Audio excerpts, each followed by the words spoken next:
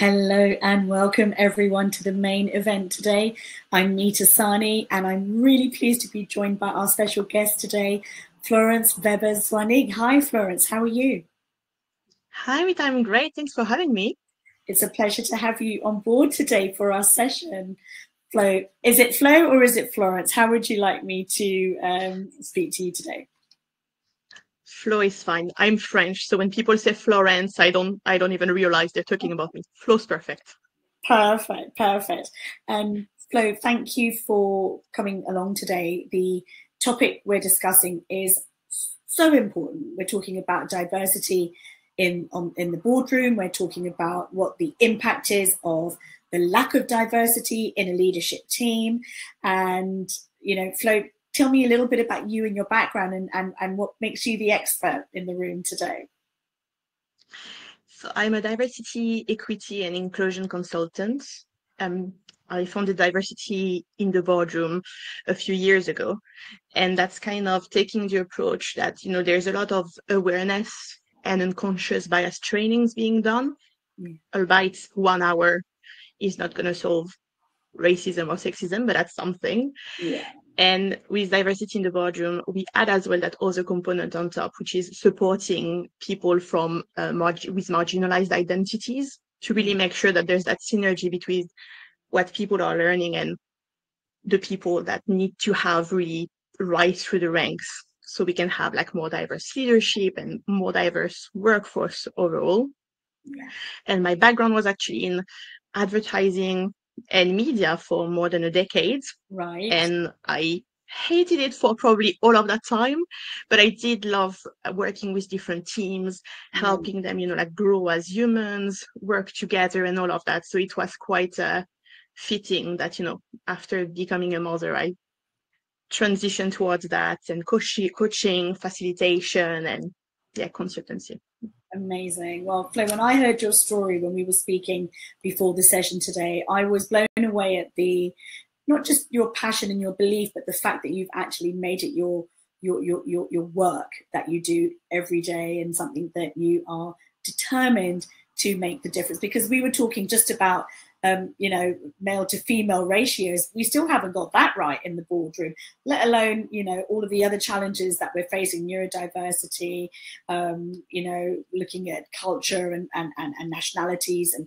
uh, race and all the rest of it. But, you know, still the very first protected characteristic that was looked at and considered, uh, still, we still haven't won, you know, so there's so much work to do. And Today, I'll just do a little bit of housekeeping before we jump in. The format is very much the standard format for the main event. We appreciate everyone that takes the time to sign up or sign up and, and attend live or sign up and watch after, after um, the session has happened because we know that time is precious, but we also know that our promise to you is that we make sure you will take something away that you will be able to apply into your organizations immediately. So that's our promise to you to do that, it really helps if everyone interacts, gives us your thoughts, and there's a few ways you can do that. So, first and foremost, we've got a poll, and the poll today is asking Is diversity and inclusion a priority in your organization?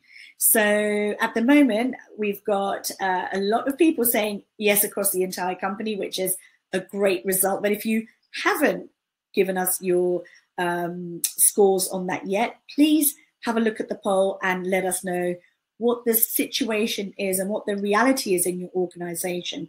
Is diversity and inclusion something that very often is just a tick box exercise that everyone has the best intentions, but then you know uh, priorities take over, and leaders are almost embarrassed to go back to um, picking up because they think they've left it too long. So, is it something that HR is, you know, is it, is it something that just HR is saying we need to be doing more about this, or is it the teams on the ground? Is it the employees saying, look, you know, we want more representation, we want a bigger voice, we don't just want a seat at the table, we want a voice at the table. Well, actually, do we have a leadership team that are talking the talk and are pushing out, you know, the, the right message and the right structure to facilitate um, having representation and a broad range of the protected characteristics and diversity in the organization? Or is it a combination? So, what I would ask you is to really think about what your world is like at the moment. If it's a combination, just pop it in the chat box. So I'm just going to do a quick hello just to show you how easy it is to say hi, to give your thoughts, to give your comments. You may have a question for myself or Flo. And the more interactive it is, the more we can ensure the promise that you will be able to take something away that you can apply straight in your organizations as soon as you're back at your desks. So we promise to keep it about 30 to 40 minutes. So we'll be going for another, about another half now to 45 minutes. So Flo, let's jump right in. So first, we've got a few different areas we said we'll cover today. We said we'll speak about the impact and the downfall of echo chambers. And so I'm going to ask you uh, a little bit more about what your experience has been of that in, in the world. And there's a lot of it's obvious, but some of it isn't so obvious as well. So it'll be good to cover that. And then actually, what are businesses out there doing at the moment? What elements of diversity are being measured? What's being reported on? Where are the challenges? And ultimately, if as an organization you're looking and thinking, I need to get started, or I started, but I need to build momentum, or you know, we're great, but let's do a little check to make sure we are great, then we're going to ensure that you not only have the right process and structure, but you also have the right people. So thinking about appointing the right candidate who's going to make that impact for diversity in your organization. So Flo, where would we start? Where do you where do you think we should start in this conversation today? Um, I guess the first point would be all organizations are different, all individuals are different. So obviously everyone's journey when it comes to diversity and inclusion is very different. It's going to start from different places and everybody's lived experiences are going to be different. So as we have that discussion today, there might be like some discomfort that's going to crop up.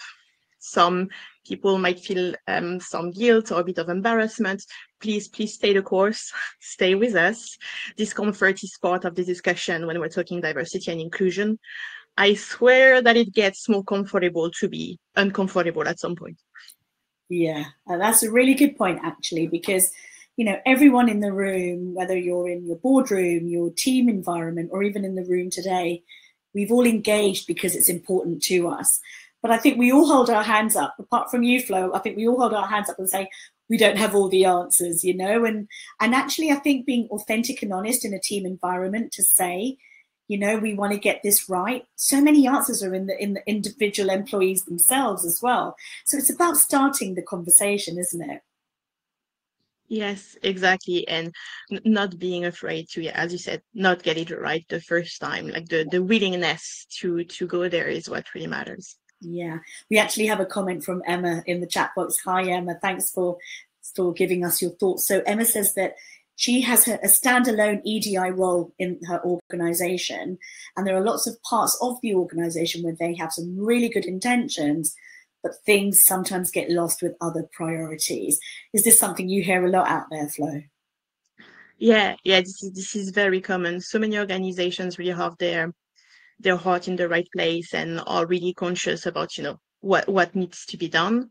But when it comes to being crystal clear on the impact, on the commitment, and the way to get there. This is where where it kind of falls short. Yeah. And there is, well, similarly to Emma, very small diversity, equity, and inclusion teams, small budgets sometimes, so it can get very muddled. So one of the things that um, I tend to recommend to the first is be clear on the impact. If you're really clear about, you know, what you want for your organization, like I don't know, being the the blueprint for belonging in your sector or in your industry you know like really big impact. Think about really what it is that you're wanting to achieve. Or you know for anyone that walks through the door with that organization virtually or in the actual office space to feel like they have a place here. You yeah. know like make that that big impact crystal clear because just saying we want to improve things there's not the vision behind it basically and mm. this is where you know when things get busy or other priorities take over it's hard to stay the course yeah. or it's as well if you're you know like the hr or the edi team yeah. to you know go back to the leadership team and be like remember remember we said that this Yeah. is what we're going for Yeah. so when there's that clear impact that clear vision where everybody's on board the leadership team the hr team and and the wider organization it's much easier to be like okay now that we know where we want to go let's get there together Yeah.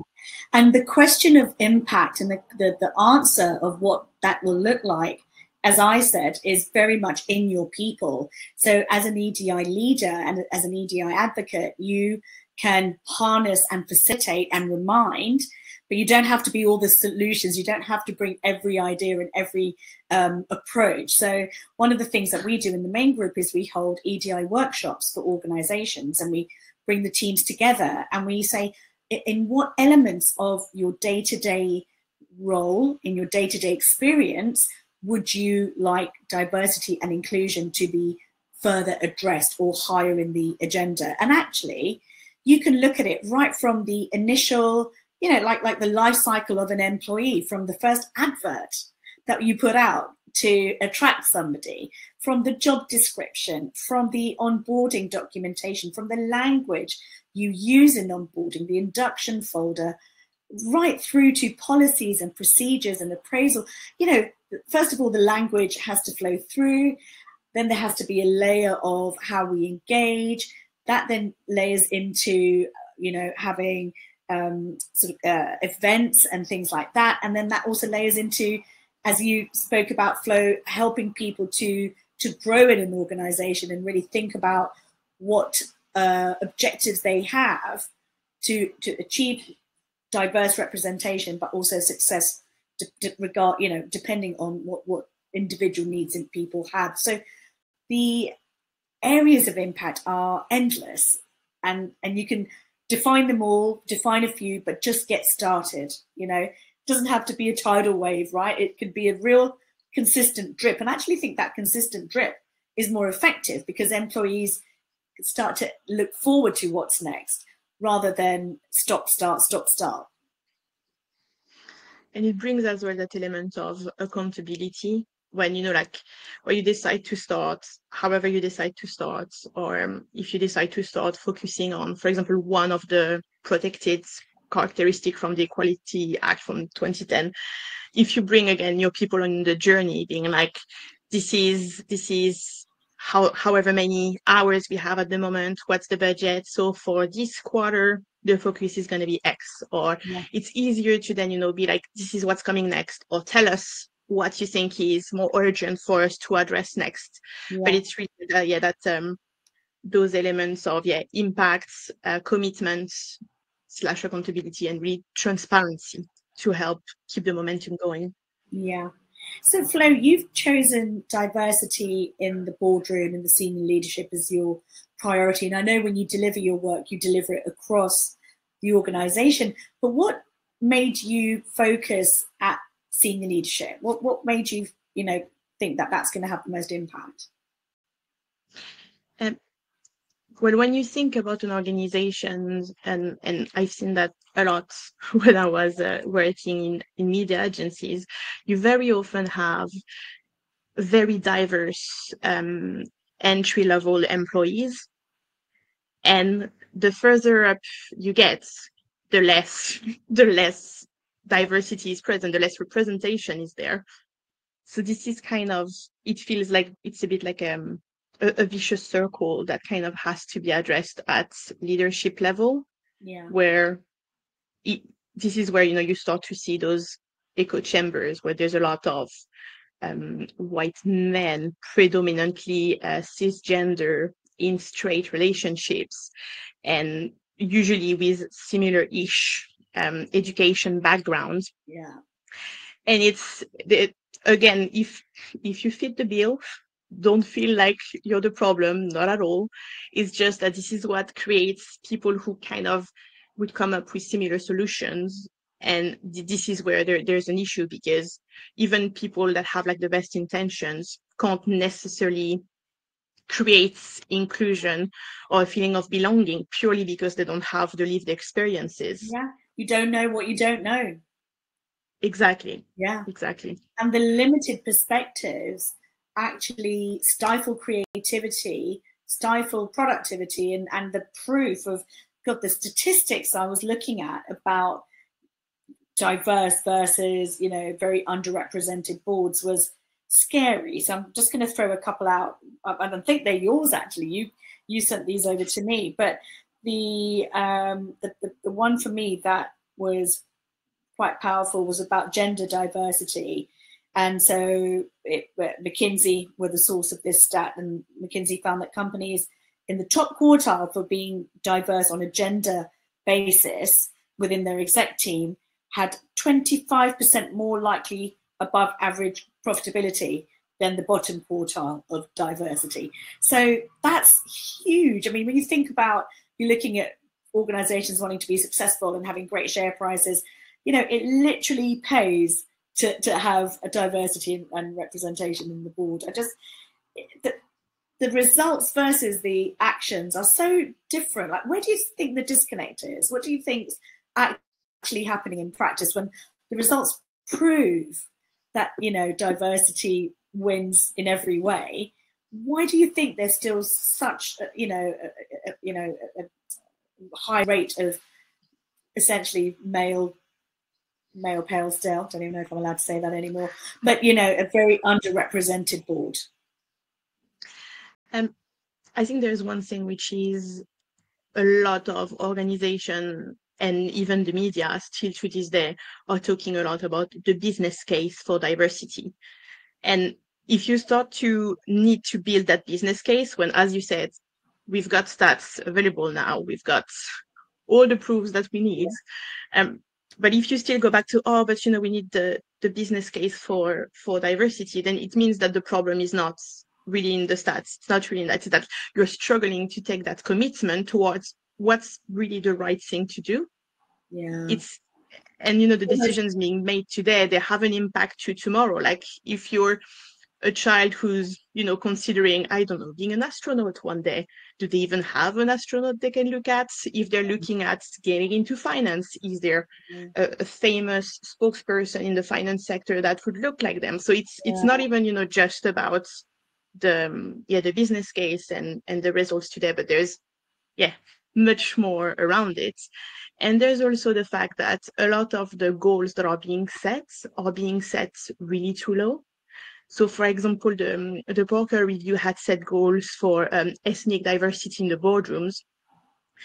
And um, the goal was for the FTSE 100 company to have one person from a marginalized ethnic background on a board. It's it's something. It's progress.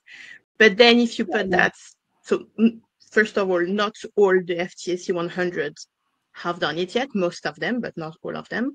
Yeah. And then when you see that boardrooms are usually between 10 and 15 people, if you have one person of color in that, it's not even a percentage that represents the, the British population. This is this yeah. is too small. Yeah.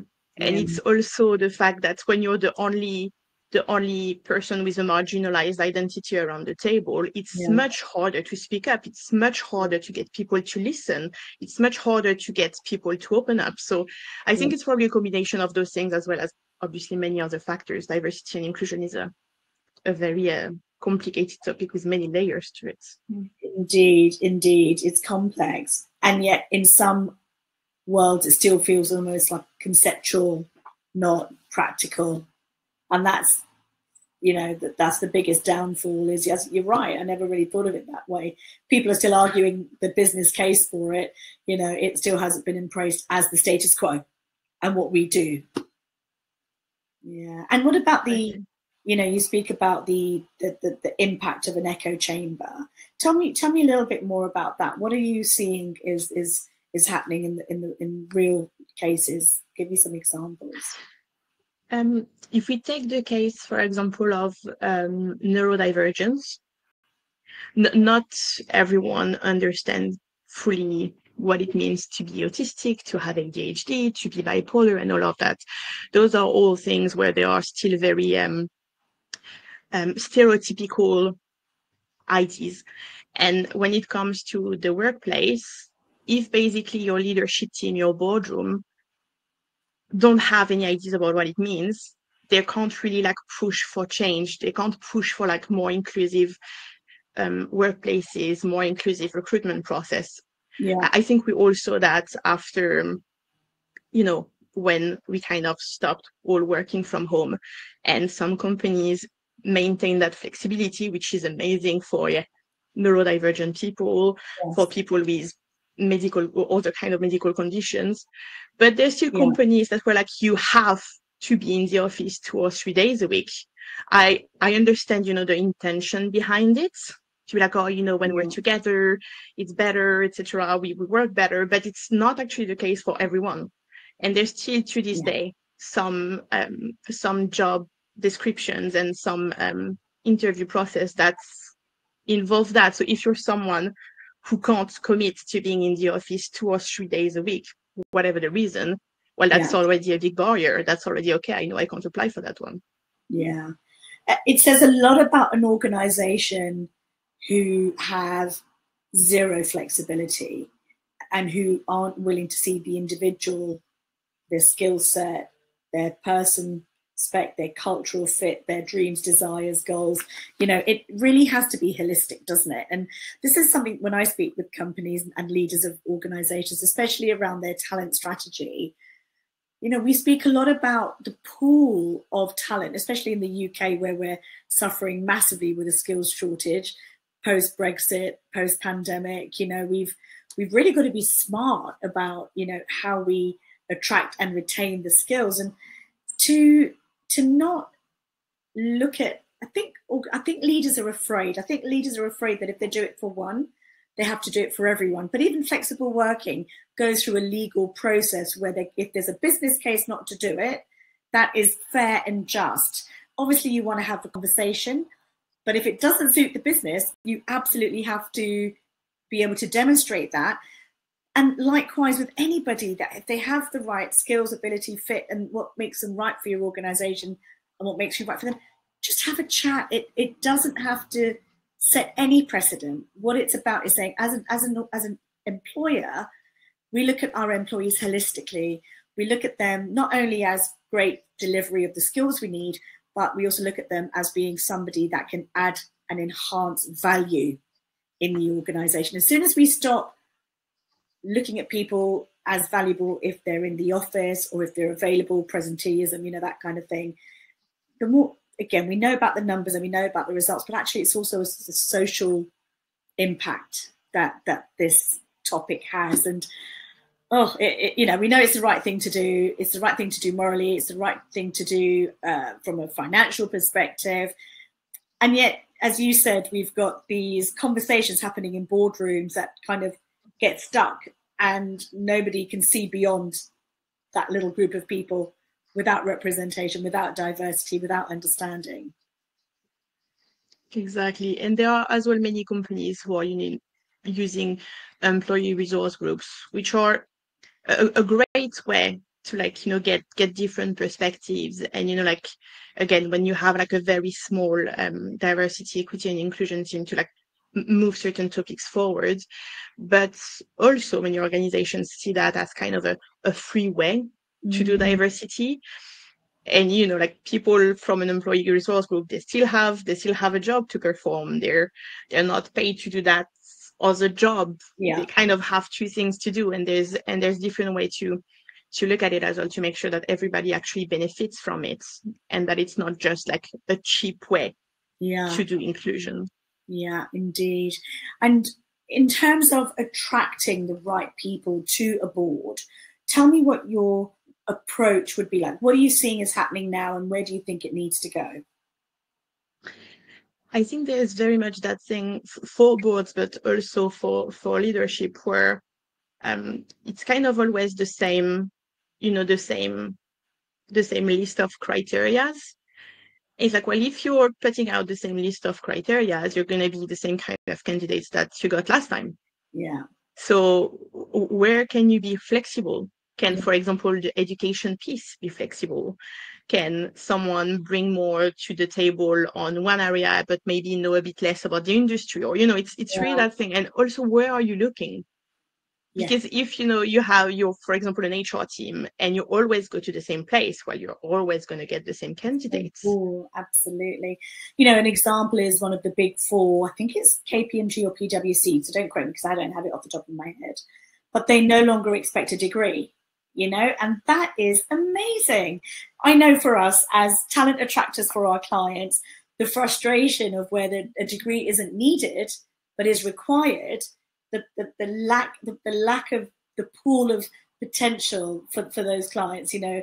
It's looking at what you need in terms of outcomes as opposed to labels you know. And if we can rise above that and trust that the vetting process is still as robust the requirements of the role do not move it's just bringing together the skills and ability in a different way of proving them and i think that we've got to get more creative as well. I, I, you know, being in the talent industry for 25 years, I know that the, you know, the advert to the CV, to the assessment day, to the interview, to the induction, it has hardly changed. Yes, we do blind CVs. Yes, we do, you know, more remote interviewing. We do shadowed. You know, we do different approaches to the to the attraction process, but it hasn't changed much, has it? And you know, it, there's a real reticence for, for, for organizations to be productive. I remember offering um, video CVs and saying, you know, forget what it says on a piece of paper, get 30 seconds of this person,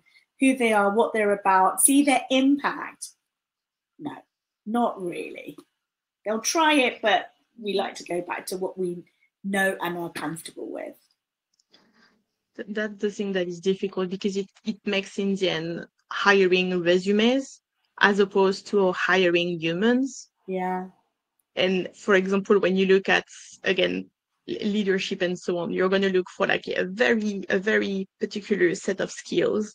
But then how about how about their compassion? How about their uh, curiosity and understanding? Because maybe they're going to tell something to one person that's going to work great, but it's not going to work at all for someone else. And the problem is not the someone else. It's just about being able to adapt, to be compassionate, and all of those things. And again, this is not something that you can get from a resume or from your typical interviews. No. You know, I hope and we intend to continue to push creativity in the hiring approach. We continue to challenge our business partners on why they need a CV or a certain skill or a certain structure of work. We absolutely respect and understand every business's strategy and we work to achieve that. And we work to enhance the, the pool of potential that can, can deliver that. So, you know, let, let's keep doing that work and pushing that forward. I think there's more webinars and, and conversations to come in that space. But let's say where we are today, Flo, we have majority of boards that are still massively underrepresented. You mentioned um, something, you know, when again when we were in the debrief uh, pre prior to starting about not for those leaders who don't have uh, uh, uh the the experiences that represent their people or represent the world they want to bring into their organization.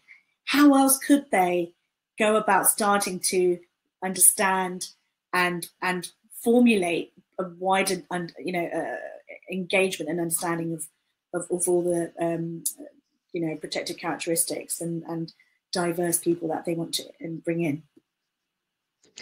I think allyship can be so so powerful when you're in a leadership position and that you can showcase your allyship as well. There's lots of very quick ways to do it. Okay. I don't know. It can be like if you have a weekly or a monthly town hall it can just be okay so i've been following um, that account who's um, a disability advocate on instagram or i've been reading that book uh, it opened up my mind so much about this this that it's like you don't i mean obviously not, we all have different lived experiences you're never going to get uh, the same lived experiences as someone else but it's really like showcasing that you're doing the work yeah and it's going to encourage as well people around you to yeah. do the work. So it's, it's, it's something so easy and so simple to do. Yeah. Even and it might seem like not a lot, but you know, I think as we said about it doesn't have to be a tidal wave, it can be a drip effect of look we're, we're in this space and we're here to stay and we're going to be making consistent steps in the right direction. I think employees will buy into that far more than a big showcase and then nothing. Reverse mentoring, that could be a fantastic way of, you know, opening up um, more diverse experiences and understanding. And to to the points earlier about employee resource group, there are so many leaders at the moment that are kind of deflecting questions around diversity and inclusion to, oh, you know, we've got that employee diverse group for that. But if you know yeah. they were taking it on and like, oh, okay, this is not something I know about, but I can look into it. This is not something that. I have experience but let me investigate. I think like, you know, showing your people as well that you're really committed to the work is yeah. a lot. And as you said, well, drip, drip, drip. Yeah. Yeah, we, we have one particular client who are actually US based and they have different laws and, and regulations, but they obviously have their business board, but they also have, have curated a diversity board who are from certain members of the organization who then represent. So even if there is only one EDI leader, they've created a board of representation that can sometimes become, um, you know, a, a, a, melting pot of new ideas or where there are questions that the board can't answer. They, they even um, engage with the board to give them insights that the board aren't aware of. So they become advisory as well. So it's a, another way, you know, of organizations, if they haven't got it at board level yet, they can still bring that expertise and, and, and awareness into their world. A strong show of commitment. Absolutely. Walking the walk, right? Not just talking the talk. And, you know, Flo, one of the areas that we um, said we would cover and look at is all around what is being reported and what is being missed right now. If, if a if a leader is trying to look and understand what, what is happening out there, I, I you know I've done my research online, I've looked at some stats, but you know what should they be looking for, and what what are people missing? So when it comes to boardrooms, the two kind of yeah, main characteristics that are currently being reported on are um, ethnic background yeah. and uh, gender. And it's, yeah, as you said, doesn't even cover all of the characteristics from the, the Equality Act. And then there's also other stuff that are not even in the Equality Act. Are you, uh, are you an extrovert or an introvert? Mm. Are you are you actually fat? Or, there's like so many things that are not even covered in that. So mm. when you see that for boardrooms, they only report on those two things, it's a bit it's limited. A bit scary for 2023. yeah. yeah. And, and, and when it comes to leadership, sorry, go ahead. No, no, I was just saying the world's become a smaller place and we are all so much more connected that if the if the sort of perspective of, of leaders doesn't reflect that, it as you said, in this day and age, that's that's scary. There's no excuse. Yeah, and it's again, it's it can be sometimes it's very difficult to understand just the fact that there are very different lived realities. Yeah. Uh, there's so many times where I heard about, oh yeah, but you know that person is that person is a bit rude, or you know that person, oh I don't think they're really meant for client services. And then when you start digging, you understand that the person mm. is actually autistic and are delivering their job brilliantly, albeit not not wrapped up in a pretty bow as some people would expect it to be when delivering it. Yeah. But it's really that still lack of um, lack of understanding, and this is again something that should come from the top. Yeah. Like this is, uh, people should in a leadership position in boardrooms should have some form of understanding of other people's lived realities. Yeah, indeed. And we've touched on so many different approaches and we've literally skimmed the surface of such a small part of diversity. But I think what I take from this is that, you know, if you want to start making real impact with little effort, it's get your senior leaders and your leadership team in the space of diversity, inclusion, belonging, equanimity for your people. So let's start the conversation. And whether you've, you know, you're watching this and you're thinking, I don't know where to start, or whether you're thinking, you know what, I did a bit, but you know, we probably need to get back to it. or like you know like emma mentioned in here you know i've i've got the thoughts but i don't have the people power um, we're here to help so we're probably tying up in a, in a few minutes the um, the chat room's been quiet but the poll's been a bit busier currently we've got some really positive results we've either got uh, that it's across the entire company um, or the second is that the wider employee base are leading on that so i would say if your people are asking for it, please, please listen. Please start the conversation. Please think about, you know, what, whether it's a, a workshop, whether it's a, a town hall, or, you know, just start the conversation. And anytime you want more support in that space, both Flo and I are available. We're going to be sending out a recording of today's session. We're going to be um, sending our details, so both of our numbers, email addresses, and things like that. But also our LinkedIn's. Lots of um, thought pieces and advice go on LinkedIn from us. So please don't be shy about if you haven't had thoughts, questions, or ideas answered today, or if you don't know where to start, please reach out. We're here to help. And there is so much complimentary advice that we're already putting out there that you can start applying in your world. So it doesn't always have to be a massive cost to your business to, to start achieving results. Flo, is there anything you'd add to that? No, I mean you were crystal clear about it all, but yeah, don't never hesitate. Um, yeah. uh, as as we said many times here, and as Meeta mentioned a few times as well, there's no small way of starting in diversity, equity, and inclusion. It's just about yeah, going ahead.